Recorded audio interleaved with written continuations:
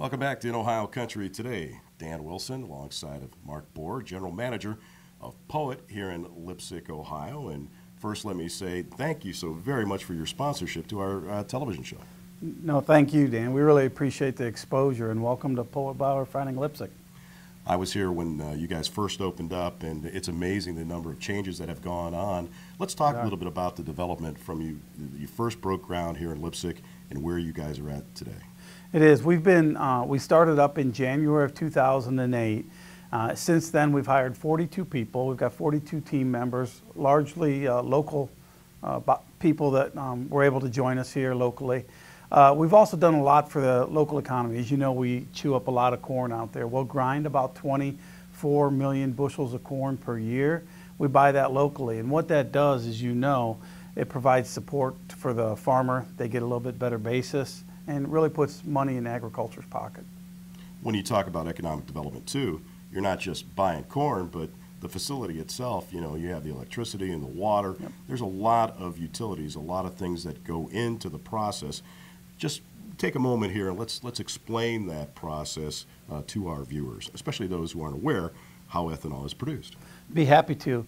First of all, what we do is we take the corn and we remove only the starch from the corn. And this is something that many of your viewers may not be aware of. We always hear the food versus fuel debate.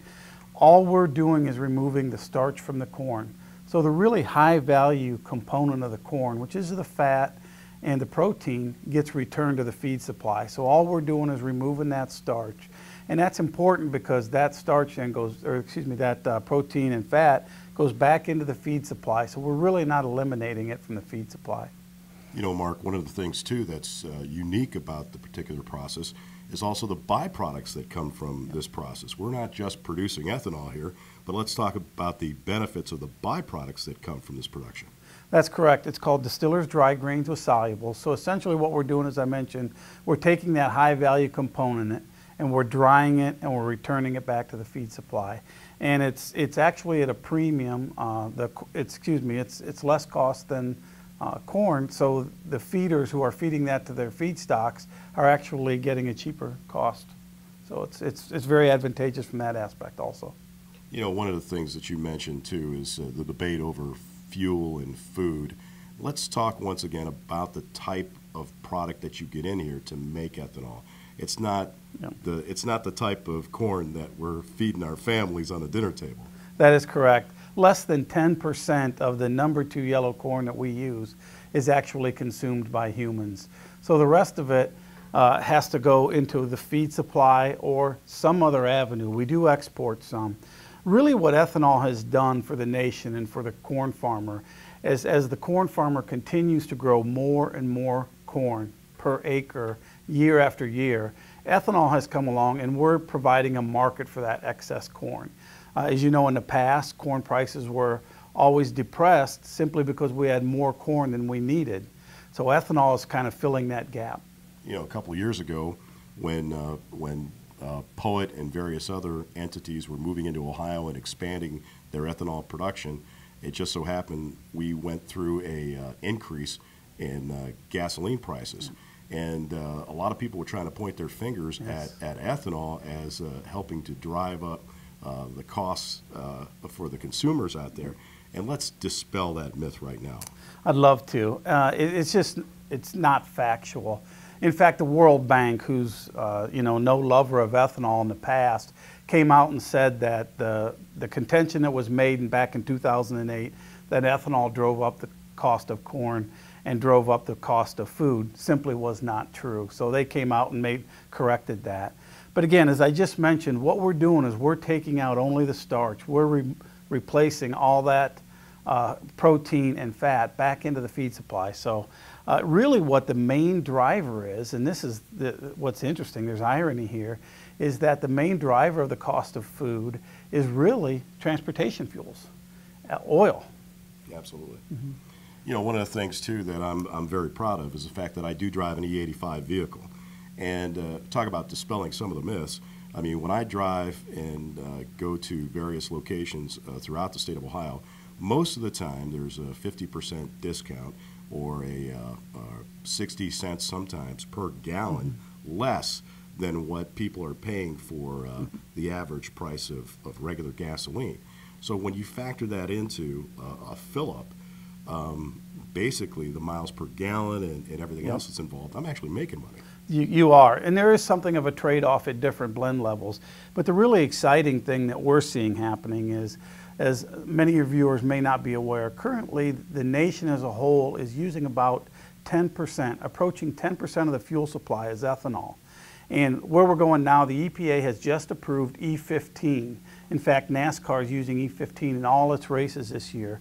And what that means is cars 2001 and newer can use E15. Uh, does not need to be labeled any differently.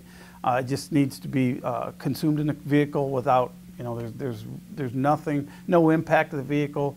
The people who don't know they're using 10% will not know they're using 15% also.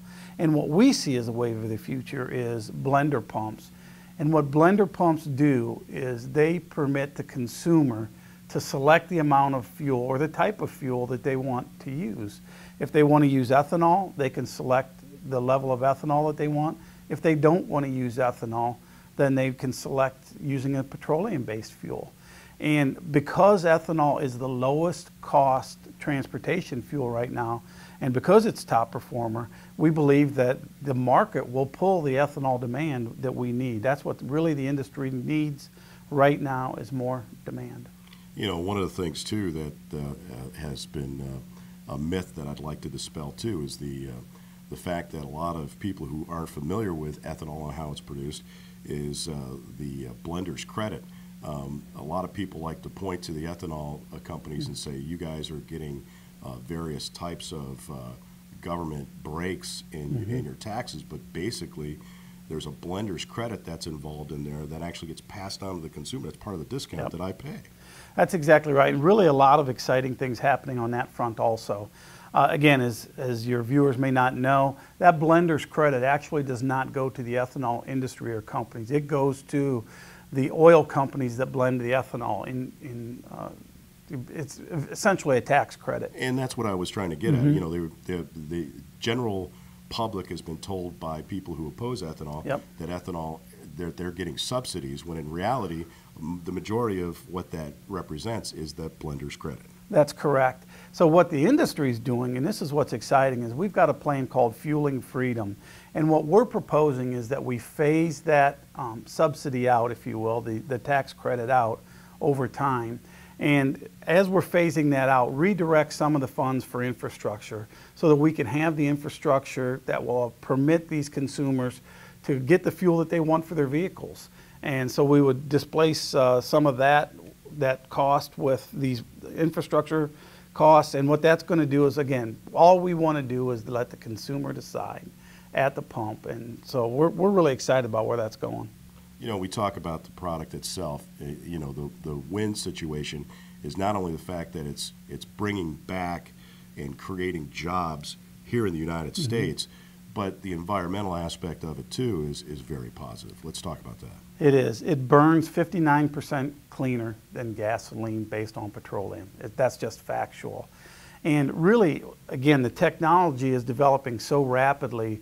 The, where we're going and where the industry and the technology is taking us is just uh, extremely exciting. The ethanol plant of the future can very easily, as you probably know, our, our company's going the cellulosic uh, route of production using corn cobs. So we could potentially be- be buying corn cobs from local farmers in the future. And where that could actually take us is we could be producing here in Leipsic, Ohio, we could be producing corn-based ethanol, we could be producing cellulosic ethanol from corn cobs, we could be replacing our natural gas usage from the lignin and the rem- remnants of the corn cobs, which can't be used for feed, by putting those into a solid fuel boiler, and, our energy would then come from that corn. And it, it's exciting because what that does in terms of uh, environmental impact is truly significant. Well, the future is bright for ethanol. There's no question about it.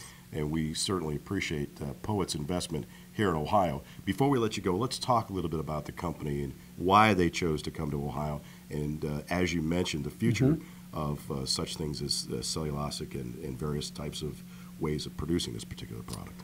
Be happy to. Poet is the world's largest producer of ethanol. We produce about 1.7 billion gallons of ethanol per year from 27 plants located throughout the Midwest. Uh, Ohio has three plants, one in Leipsic, one in Fostoria, and one in Marion. And we're on the eastern edge of the Corn Belt, but Ohio is really well positioned, has a geographic advantage in terms of the fact we're also very close to the end user. So much of the fuel that gets blended with ethanol is blended here in Ohio or in the surrounding areas. So there's a, a transportation cost advantage that's associated with it.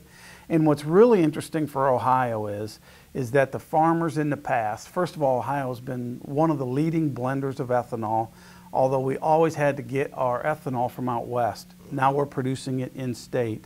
And the farmers who were in the past, they would grow the corn, and essentially because there was not a, a, large enough end user base here, would ship it down south or somewhere else. And what that did is that, again, it's business. As that corn touched numerous hands to get to the end user, uh, there's a cost associated with that. So by virtue of the fact we're here, we're using corn 24-7, uh, 365 days a year, the local farmers are getting a premium for their corn. So it's putting money into the local economy through that route also. Well, what's really interesting is that the, the old time school of manufacturing technique still holds true. I mean, where the steel industry was is where the automotive mm-hmm. uh, industry grew, and the same thing holds true here. You know, the products that you use are, are you know, bringing your manufacturing process to where that product is. So it's uh, it's very exciting time. Uh, before we let you go, you're a Putnam County boy made good. Let's I talk am. about your background. What brought you here to Poet? Um, actually, it was just a fantastic opportunity. Um, again, being from Putnam County, both my wife and I, and we got two girls.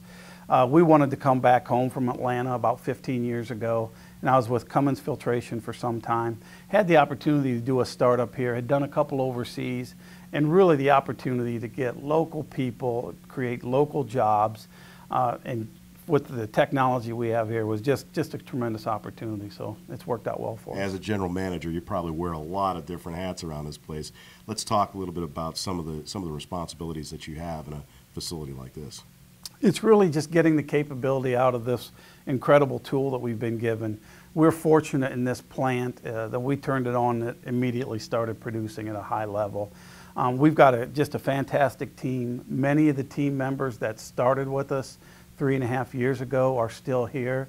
And so it's really just making sure that we continue to work as a team and get the most out of the technology that's available to us. Mark, once again, we appreciate your sponsorship on In Ohio Country today, and I would be remiss if I didn't mention Mike Knieven for his support and helping us uh, pull off yep. this broadcast.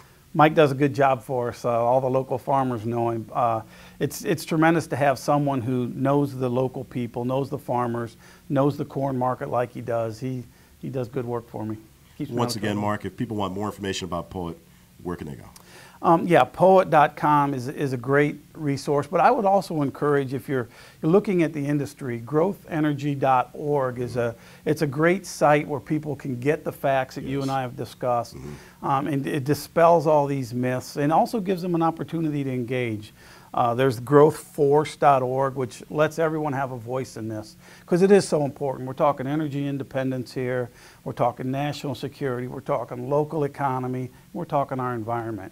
That's some pretty important topics. Amen. Amen. Yep. Hit the nail on the head. And if you want more information too, you can always check us out on the web. We'll have a link to those sites at inohiocountry.com.